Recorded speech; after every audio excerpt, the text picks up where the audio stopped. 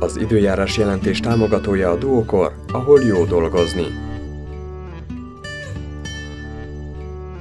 Kedden változóan felhős, napos időre van kilátás, de itt-ott kialakulhat átmenetileg kisebb eső, gyenge zápor.